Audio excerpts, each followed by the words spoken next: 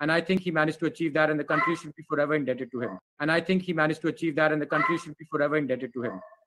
God needed him up there to solve the COVID crisis. And even God has been crying for the past two days, as evident by the rate. I will do everything I can to ensure that your legacy lives on till we meet again.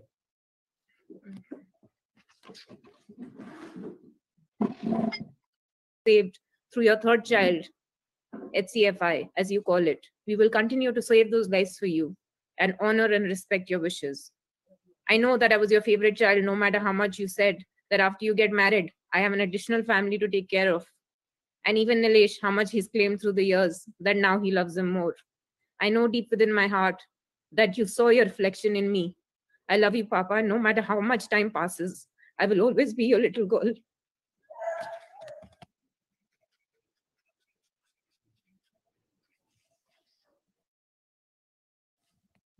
Passed away. I have no words of my own, but these words seem very appropriate to me. The light has gone out of our lives, and there is darkness everywhere. I do not know what to tell you or how to say it. Our beloved KK, as we have fondly called him, is no more. Perhaps I'm wrong to say that. Nevertheless, we will never see him again as we have seen him for these many years.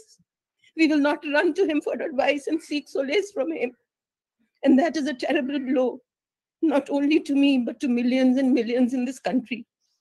And it is very difficult to soften the blow by any means or any advice that I or anyone can give you. The light has gone out, I said, and yet I was wrong. For the light that shone in this country was no ordinary light. The light that has illumined this country for thousands of years.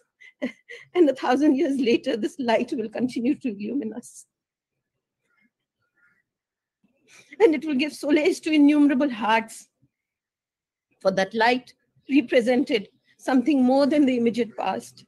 It represented the living, the eternal truth, reminding us of the right path, drawing us from error, and showing us the light. All this has happened when there was so much for him to do.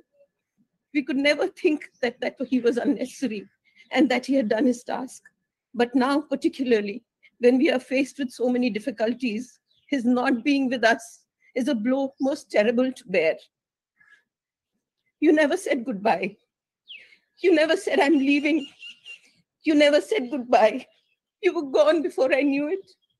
And only God knew why. A million times I needed you. A million times I cried. If love alone could have saved you, you never would have died. In life, I loved you dearly. In death, I love you still. In my heart, you hold a place that no one can ever fill. It broke my heart to lose you, but you didn't go alone. For part of me went with you the day to God took you home. It is said, carve your name on hearts, not tombstones.